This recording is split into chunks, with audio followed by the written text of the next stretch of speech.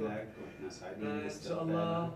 وعلاجك وإن شاء الله ما بتخرج الفترة السريعة ال- ب- بشعرش بأوجاع يعني حتى بضغط الإبر هيك بشكركم من قلب إن شاء الله حكون يعني بفترة أقل بما إنه معنا هيك رح أكون بفترة.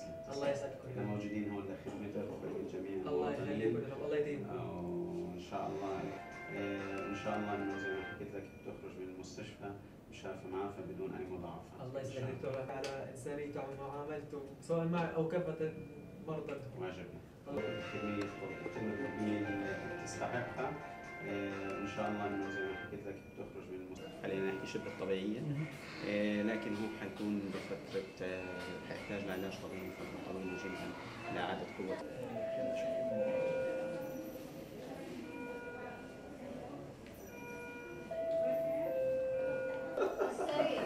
مش معتقد بروحش إلا بيتجوز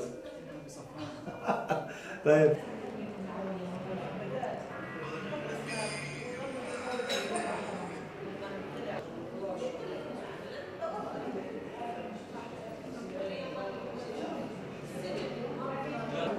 بغض النظر شو المرضى قبل الأسرى والأسيرات قبل الشباب.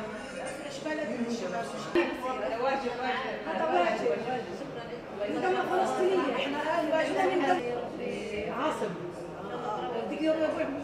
القصص كل هذه إحنا دائما عاملين يعني جبارة.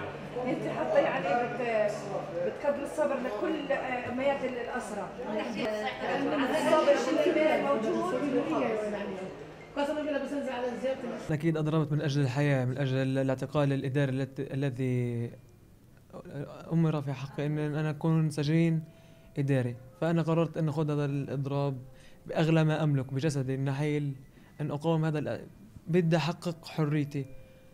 إيش ما كان الثمن؟ يعني إنه حساب صحتي إني بدي أصل لغاية المنشودة.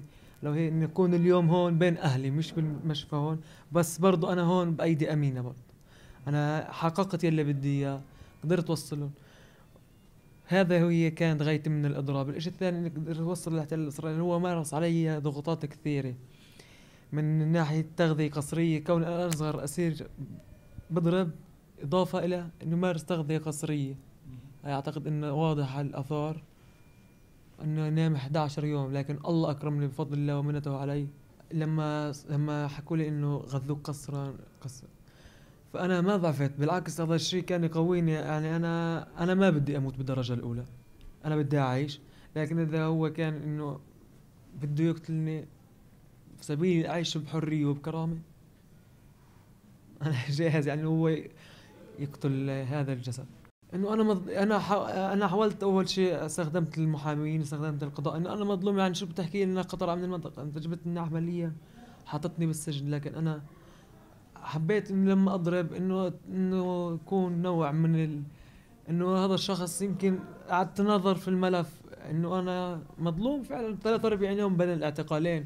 شو عملت أنا؟ التحدي الأكبر في الحالات الإضراب الطويلة عن الطعام هي عملية إعادة التغذية آه، لأنها لها مضاعفات كبيرة. على الجسم لأنه الجسم لما يأخذ أي طعام بعد فترة إضراب طويلة زي هيك آه، بيكون بيتعامل مع الطعام كأنه عدو كأنه صدمة للجسم. نظري مش أقل من ست شهور بده عملية إعادة تأهيل. آه، هاي العملية بت- بتبلشت داخل المستشفى آه، وإن شاء الله حتستكمل بعد ال- بعد الخروج من المستشفى. بتمنى انه يرجع يكمل دراسته آه، يرجع لجامعة رام الله آه، يكمل مجال الصحافة والإعلام.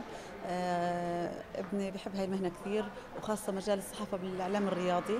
آه، عنده طموح عالية هو وبحب الرياضة وعنده طموحات أكيد كثير كثير واسعة يعني الحمد لله. إن شاء الله إنه راح يحققها بس يتشافى إن شاء الله ويكون بالسلامة. أكيد مريت أنا بمرحلة قاسية جدا آه، من 58 يوم ل 70 يوم.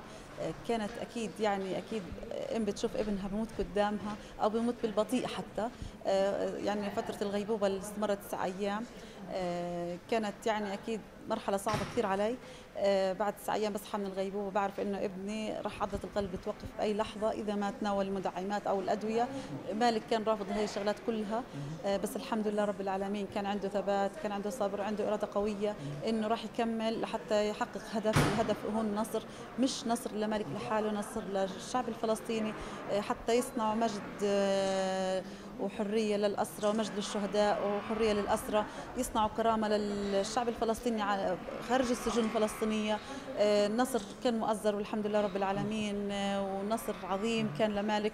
وأنا راح أكون فخورة بهذا النصر أكيد يعني أن ابني آه، أصغر أسير فلسطيني بخوض معركة إضراب عن الطعام.